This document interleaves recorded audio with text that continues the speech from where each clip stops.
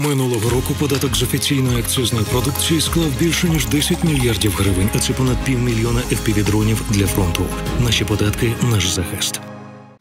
17.30. Час новин про все найголовніше від журналістів Фактів ICTV та Вікон СТБ. Добрий вечір. На Херсонщині у селі Львове росіяни вбили літню жінку. Це сталося вранці. Вона перебувала на вулиці, коли поруч розірвався артилерійський снаряд.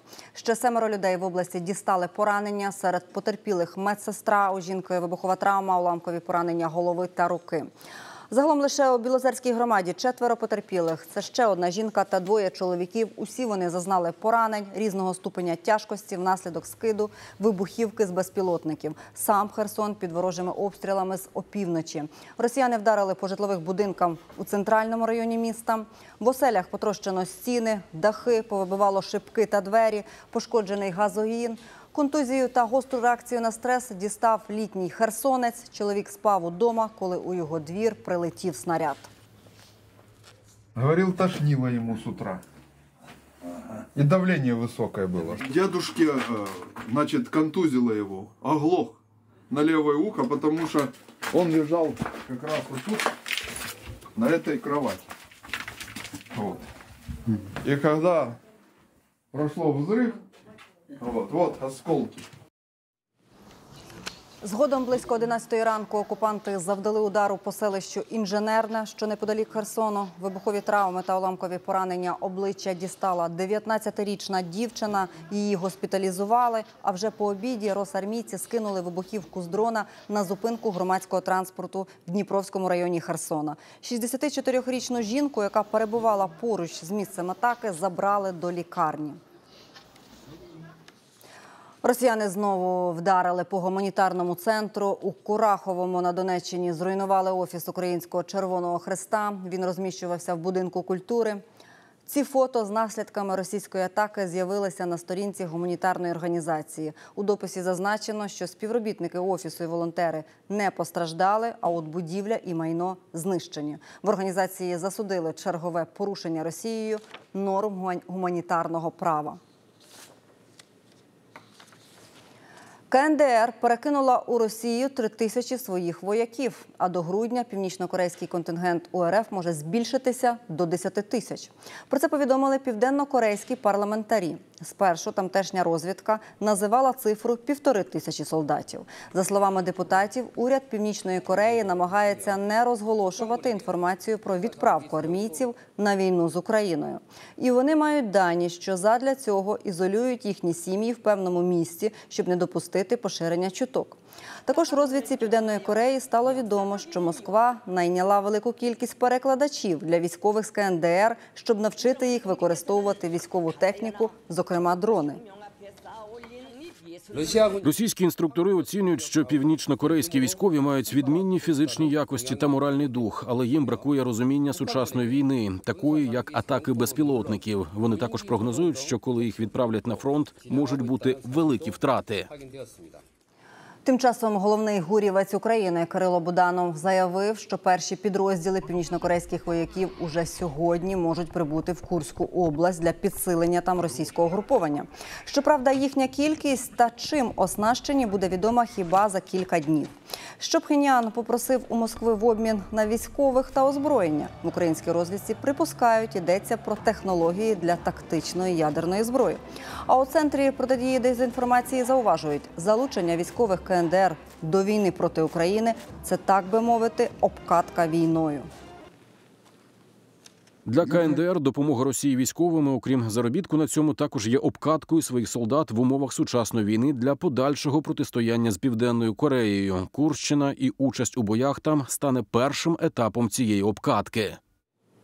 Про те, що війська Північної Кореї уже в Росії повідомив і міністр оборони США Ллойд Остін під час відвідин Італії, але додав, Вашингтон ще розбирається, що вони там роблять.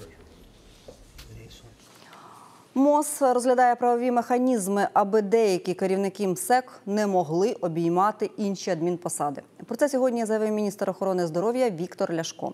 Напередодні рішенням уряду звільнено керівництво центральної МСЕК, а також керівників профільного департаменту Міністерства охорони здоров'я. Водночас, за указом президента, усі медико-соціальні експертні комісії ліквідують до кінця року. Подробиці у нашому сюжеті. Мільйони у валюті, колекції ювелірних прикрас і купа нерухомості. Система МСЕК має бути ліквідована. На Миколаївщині провели обшуки ще в однієї керівниці МСЕК Віри Біляєвої. У неї знайшли 450 тисяч доларів США і колекцію ювелірних прикрас. В сина посадовиці правоохоронці вилучили також і паспорт громадянина РФ, який він отримав у колишньому генконсульстві РФ в Одесі. На своє чадо Біляєва записала три квартири. Минулоріч вона також оформила собі та сину другу групу інвалідності, аби отримувати від держави додаткові пільги та соціальні виплати. А ось так проводили обшуки у керівниці Хмельницької МСЕК Тетяни Крупи. У її робочому кабінеті знайшли 100 тисяч доларів США та низку підроблених медичних документів, списки ухилянтів із прізвищами та фіктивними діагнозами. А вдома майже 6 мільйонів у різних валютах. Правоохоронці знаходили гроші в квартирі практично в кожному куточку. Вони були у шафах, шухлядах, нішах. Під час слідчих дій посадовиця намагалась позбутись частини грошей, виконавши дві сумки з півмільйоном доларів США через вікно. Обидві посадовиці оформляли ухилянтам липові групи інвалідності. Зокрема, Тетяна Крупа зробила такі довідки для півсотні прокурорів Хмельниччини. В офісі генпрокурора провели власне службове розслідування. Найбільший показник прокурорів зі статусом інвалідності е, встановлений в двох областях: це Черкаська і Хмельницька області. На Черкащині 60 прокурорів органів прокуратури мають статус особи з інвалідністю. Станом на сьогодні у нас є дві прокуратури, в яких е, взагалі відсутні особи з е, прокурори з е, інвалідністю. В деяких прокуратурах ця цифра від двох до п'яти, наприклад. За інформацією служби безпеки, уже розпочато 85 справ щодо корупційної діяльності працівників медико-соціальної експертної комісії, з яких судовий вирок отримали 9 осіб. Втім, кажуть, робота триває. Крім того, служба безпеки викрила і припинила діяльність восьми організованих злочинних угруповань, до яких входили представники МСЕК. І такі групи були ліквідовані в Харківській, Львівській, Вінницькій, Миколаївській, Донецькій і Хмельницькій областях. І знову ж таки, якщо ми наводимо приклади, то в Харківській області до однієї з таких злочинних груп входили 13 членів МСЕК. І в Рівненській області, наприклад, це 29 членів лікарських комісій і МСЕК. Відтак, вчора президент Володимир Зеленський після засідання РНБО видав указ ліквідувати всі медико-соціальні експертні комісії до кінця року. Крім того, у місячний срок офіс генпрокурора, СБУ, ДБР, Нацпол та НАБУ мають прозвітувати про вжиті заходи щодо виявлення порушень під час встановлення інвалідності посадовим особам. Опісля ухвалити кадрові рішення. Є сотні таких фактів, очевидно, необґрунтованих інвалідностей у посадовців митниці, податкової, в системі пенсійного фонду, місцевих адміністрацій. З усім цим треба ретельно та оперативно розібратися. Система МСЕК має бути ліквідована. Напередодні рішенням уряду було звільнено керівництво центральної медико-соціальної експертної комісії, а також керівників профільного департаменту Міністерства охорони здоров'я, які відповідали за координацію діяльності МСЕК. А сьогодні на прес-брифінгу міністр охорони здоров'я Віктор Ляшко заявив, у міністерстві уже напрацьовують правові механізми, аби керівники МСЕК не могли у майбутньому обіймати інші адмінпосади у системі охорони здоров'я. Також всі наступні перевірки планують зробити публічними. Ми, як Міністерство охорони здоров'я, є регулятором. Я не призначаю і не звільняю керівників МСЕКів.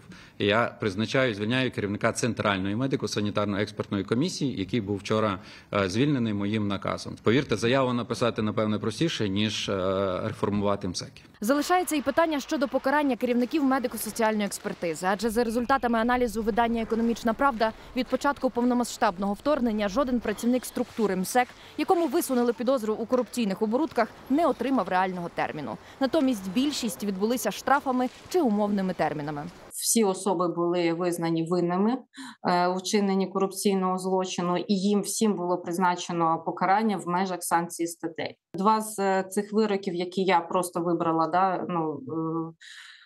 е, Рандомно вони стосувалися призначення покарання в вигляді позбавлення волі з, е, з умовним покаранням Ксенія Павлишин, програма Вікна СТБ, марафон. Єдині новини. Дев'ять пісень, нерухоме майно, автівка, екс-нардепки та співачки зрадниці Таїсії Повалій відтепер власність держави. Таке рішення ухвалив Вищий антикорупційний суд. Позов на конфіскацію активів до ВАКС подав Мін'юст. Мова йде про конфіскацію майнових прав на музику та слова до дев'яти музичних творів. Також суд стягнув на користь держави сім земельних ділянок у Київській області, загалом понад 9 гектарів, житловий будинок у майже 500 квадратів, автомобіль БМВ і три екземпляри мисливської та пневматичної зброї. Нагадаю, раніше СБУ повідомила повалій про підозру в колабораційній діяльності, публічних закликах до війни та виправдовування агресії РФ проти України. Нагадаю, напередодні повномасштабного вторгнення співачка зі своїм чоловіком та продюсером Ігорем Ліхутою переїхала до Росії та отримала там паспорт. Готували теракт у Києві з великою кількістю жертв серед цивільних. СБУ та Нацполіція затримали в Запорізькій області двох агентів російської військової розвідки. Для вчинення теракту та заверб... та завербувала 20-річну жительку Запоріжжя, яка шукала легких грошей через телеграм-канали. Вона ж у свою чергу до справи залучила свого 26-річного співмешканця. Теракт планували здійснити за допомогою саморобного вибухового пристрою. Інструкції з його виготовлення отримали від окупантів. Детонатор з пластидом дівчина мала підірвати в одному з людних міст столиці. Крім того, окупанти доручили агентам виконати контрольне завдання знищити військову техніку ЗСУ в районі Запоріжжя. Саме тут зрадників і затримали на гарячому, коли ті намагалися підпалити бойову машину піхоти. Нині зловмисники під вартою без права внесення застави і їм загрожує довічне ув'язнення. Як навчати дітей критичного мислення за допомогою сучасних технологій? До Всесвітнього тижня медіаграмотності у столиці презентували інтерактивну виставку для підлітків. За картинами, створеними частково людьми, частково штучним інтелектом, уроки з інформаційної безпеки на різну тематику. Який вигляд має таке навчання з доповненою реальністю? Далі у сюжеті. У цьому столичному ліцеї сьогодні поєдналося минуле, теперішнє та майбутнє. На фоні розписів із величними лебедями стоять картини, що вмить оживають у гаджетах та переносять вас у віртуальний світ. Це виставка за лаштунками реальності, покликана завдяки сучасним технологіям підвищити рівень критичного мислення серед школярів. Чому це важливо? На прикладі показує фактчекерка Альона Романюк. Ми робимо невеличкий експеримент про те, як працює інформаційний шум. А вам треба буде слухати те, що говорю я. У вас буде одна хвилина. Вам треба буде дуже гучно розповідати щось на свою тему, яку ви обрали. Три, чотири. Виставка Вчора Шахтар такий матч. Різних Стоп! Ну я почув про інформацію, про те, що Так. ви хочете якось розвивати учнів, щоб вони відрізняли інформацію. Ага. По фактажу, якісь факти ви почули? Ні. Це називається інформаційний шум. Ми постійно отримуємо інформацію. Нам треба вирізняти правдиву від сумнівної. Я дуже здивувався з цього експерименту. Я почав чути дуже багато інформації. Якось вона взагалі ніяк не в'яжеться. Це може говорити, що треба концентрувати свою увагу на одному, і це буде більш як ефективно, ніж зразу намагатися залити все. 20 інтерактивних плакатів у співпраці створили штучний інтелект та митець Валерій Коршунов. Перейшовши за QR-кодом та завантаживши додаток EdAR, можна побачити 3D-моделі, віртуальні світи та послухати спеціально створені пісні, що полегшують засвоєння такої складної теми, як медіаграмотність. І, хоч ще навряд чи відрізняють гігієну рук від інформаційної, певно найбільше виставка прийшлася до душі першачкам. Там телек був, який.